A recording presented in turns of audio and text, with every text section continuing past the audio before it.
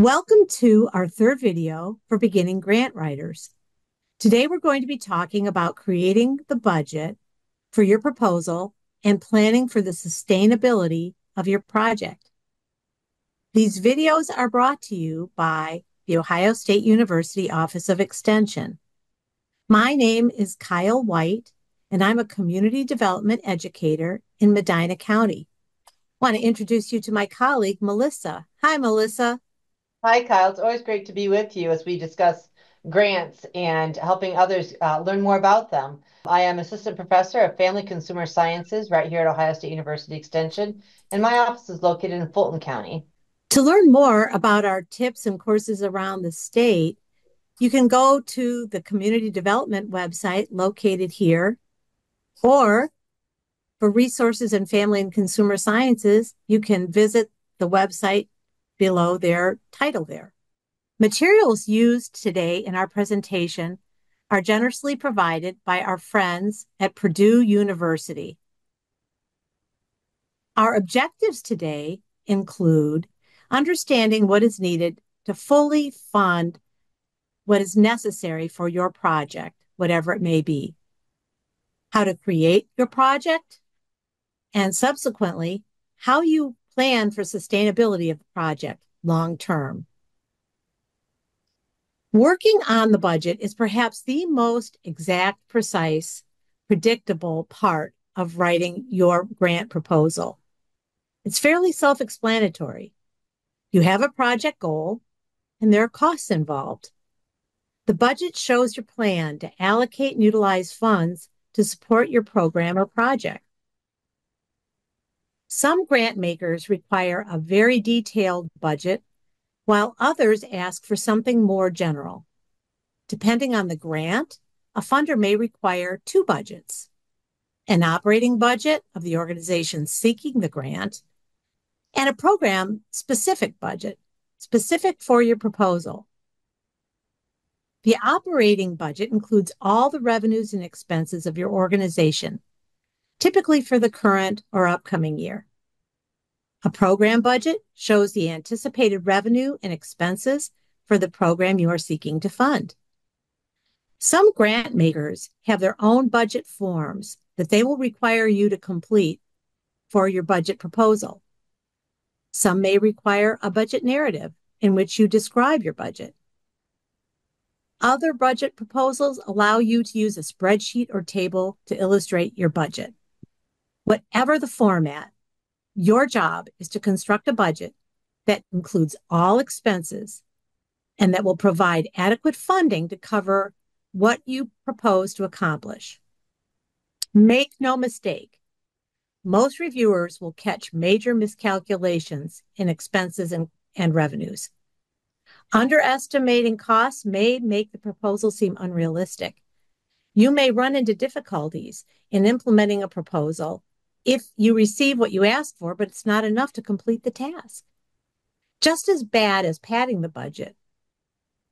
If your budget or, or certain line items seem inflated, a grant maker may question the efficiency of your proposal, such as your proposal calls for installing a solar water heater, but you add into your proposal the need for technical or audiovisual equipment because you want to do some type of audiovisual training in a hybrid format. That could be a stretch. Your funder may not agree that that's necessary for this project. Another budget type would show the entire costs and revenues for the project. Working on the budget is perhaps the most exact, precise, and predictable part of the grant production pr- process. The budget shows your plan to allocate and utilize funds to support your program or project. Some grant makers require a very detailed budget, while others ask for something more general. Depending on the grant, a funder may require two budgets an operating budget of the organization seeking the grant and a program budget specific to your proposal. The operating budget includes all the revenues and expenses of your organization, typically for the current or upcoming year. A program budget shows the anticipated revenue and expenses for the program you are seeking to fund. Some grant makers have their own budget forms that they require you to complete. Some require a budget narrative in which you describe your budget. Others allow you to use a spreadsheet or table to illustrate your budget. Whatever the format, your job is to construct a budget that includes all the expenses that will provide adequate funding to cover what you propose to accomplish. Make no mistake, most reviewers will catch major miscalculations in expenses and revenues. Underestimating costs may make the proposal seem unrealistic. You may run into difficulties in implementing a proposal if you receive what you asked for, but it's not enough to complete the task. That's just as bad as padding your budget with big figures. If your budget or certain line items seem inflated, a grant maker may question the efficiency of your proposal in general, such as if your project calls for installing a water a solar water heater and your project goal is to um, present how efficient the water heater is in low sun exposure if you also include in your proposal the need for teleconferencing equipment to support hybrid learning, the, the funder may find that not consistent with what the goals of the project are. It may be too big, big of a stretch. It's a want rather than a need. Reviewers will be looking for wants. Walking through this simple budget it has the different categories and associated costs in a literacy project. These are the anticipated costs.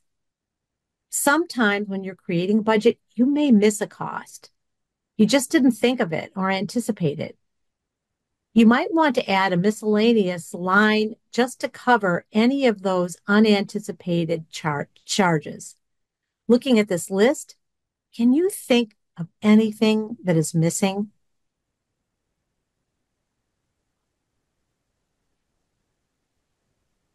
Without more information, it's hard to tell. But when you're writing your own budget, work with others to create it.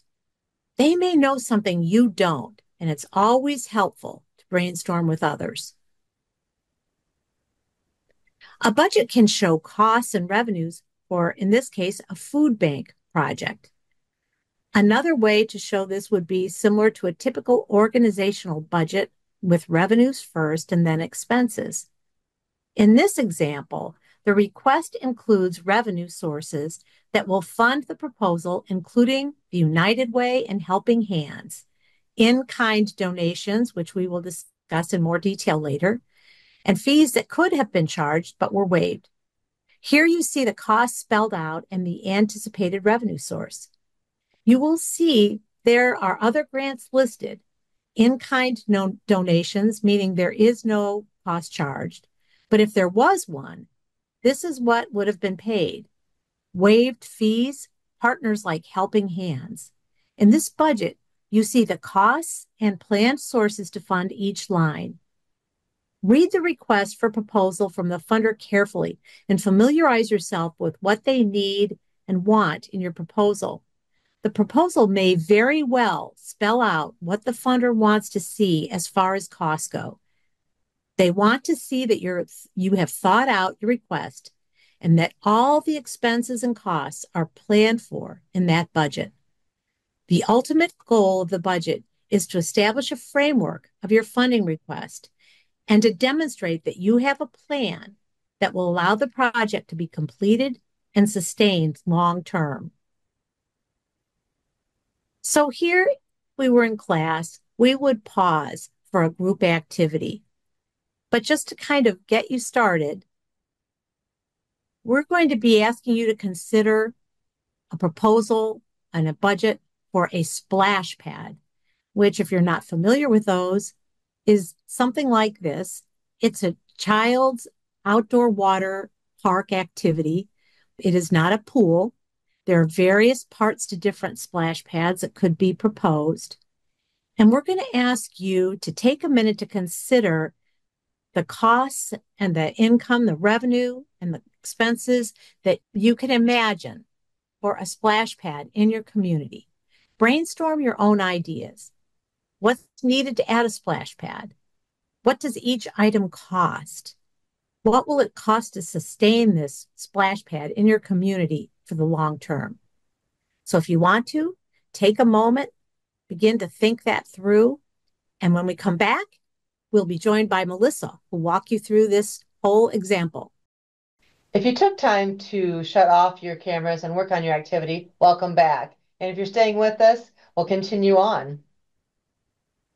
So here's a picture to envision our splash pad. And as you started thinking about the components to making this become a reality in your grant proposal, you started thinking about all of the things that would make um, the proposal complete when it comes to funding. From the hardware that we see in this picture to the water, the utilities, the um, the staffing power to build it and to maintain it are all some of the things that we would consider. As we look at this example, it's easier to take and jot down your concepts in expenses and income. And in doing so, you can start flushing out each of the um, expenses and income as it matches up to your overall proposal and your grant. If it's in the grant, it should be in your budget. And if it's in the budget, it should be in your grant. So brainstorm those ideas and better yet, grab a friend and have them show you maybe your blind spots or a different perspective that they might have caught. So expenses could be um, building the components of the splash pad, those unique and um, beautiful elements that spray water all over um, uh, people on a very hot day. It could be the concrete. It could have been the designer and the person who designed the land forming to make it work, the person that brought in the utilities. It could be the person that um, washed down everything before the first opening day and then maintaining it with sanitation, renewing the water source. Then you think about income. How could a splash pad bring income? Well, if it's a community park, maybe it's fenced and you have a, a small entry fee of a dollar a person. Perhaps it's added to um, the, the city council budget. Perhaps it is a rental that you can rent it out for parties and you're bringing in some extra income. These are ways to be creative but realistic within your grant proposal. So taking a look at your budget from this exercise, how is it helpful to have an exercise like this? You take a picture, you, you think about it, you grab a friend, get their perspective. I'm sure I mentioned a few things that maybe you didn't think about, and you thought of a few things that I didn't mention, and bring bring those ideas together in a brainstorming kind of a activity. If you brainstormed new potential revenue streams, or unanticipated costs, that those appear? What jumped out to you? Like, I never thought about sanitizing the equipment. Also, how can you use this information when you start writing your grant? This information should, as I said before, match up with what's said in your grant. And if it comes to mind as you're writing that budget, you can also go back into the proposal and in your narrative, define that closer or make it um, connect in a stronger way that the reviewer can take a look at your proposal and see exactly how it makes sense in your budget. In some proposals or in some uh, requests for funding, you might see something called a match. You especially see this in federally funded programs and government programs. So what is a match?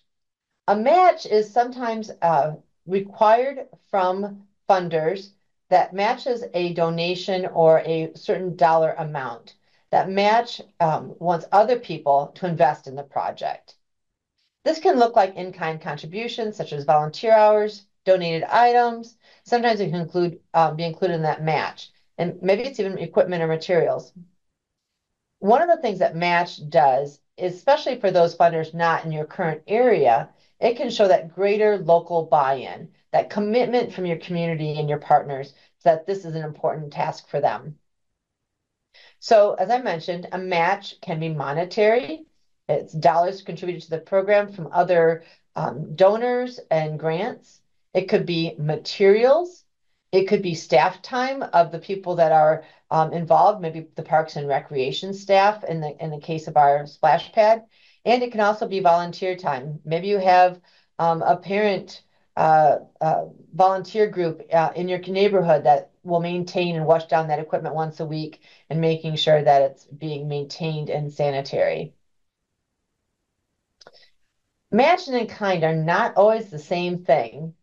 Um, when you're talking in kind, this is where you demonstrate that contribution of cost savings by something that's donated to the project that doesn't necessarily mean finances. So match sometimes is only money, and sometimes it can be in kind. When it's in kind, this is the opportunities for the community to come together. In the case of our splash pad, maybe the local um, contractor says, I'll donate um, labor and materials for the concrete. And perhaps uh, staff time of the local uh, Parks and Rec, they'll donate um, 25% of their uh, pool staff to come over and supervise certain times of the week um, when the splash pad is open. You can have volunteer time, also space and rental. If someone um, would uh, contribute space for planning meetings and or uh, provide you uh, a place to have your meetings to discuss the, the development of your uh, project. Um, in other types of projects, this might be where you hold your educational opportunities in the local library, and that time, that space and time has value and can be written as an in-kind contribution in your grant. So once you've written your grant and you are looking towards the future, the question often becomes, how do you keep it going? Well, that's called sustainability. That is taking the grant past the initial um, funder and keeping that project going into the future. A funder wants to know that you have a plan besides calling them up next year and saying, May I have some more money? To keep that plan going within the community, within the project. So, as we think about our splash pad, how could we sustain it? So, the sustainability plan could be that you are looking for donations within the community. Your plan might um, be soliciting funds from local um, parent groups or uh, youth groups. Perhaps they'll do a fundraiser to keep the splash pad going. It could also be that you have an income of some sort of fee. Maybe it's renting it out for a birthday party or a cost per participant in your splash pad. Each of these things is a sustainability um, metric that can be put into your grant to show that you have a plan moving past the initial project development. And this can be a big win when a reviewer is looking at taking this to the next level. So as we consider some of the budget tips, we've talked a little bit about developing it, thinking through the plan, having it connect to the narrative. Let's look at these tips. First and foremost, if you have a grant proposal in front of you and you're looking at that uh, the funder's requirements, whether that's called um, an SGA or a NOFA, or there's lots of different words for it. But go to the budget section of that document and follow the grant guidelines. If you can do nothing else that um, makes as much sense to you, read and follow. Um, funders are watching that and they appreciate that direct connection don't include any ineligible expenditures. I think Kyle mentioned this very, um, very wisely earlier, that if you're asking for funding for uh, solar panels, you're not going to rewire your entire office for um, technology for teleconferencing.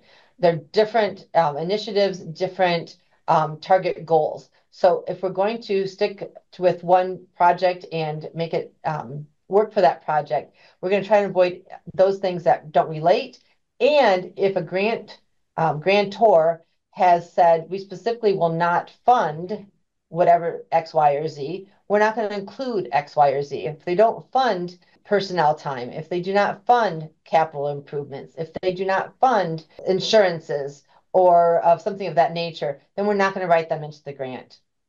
The budget should always line up with the narrative. in a way, the budget is your narrative in numbers. So if you think about it, if it shows up one place, it should show up in the other. It might look slightly different, but they should connect, and you should never wonder why something is represented in one place or the other without the, the matching component. Also, it's always good to research the, and find those best deals.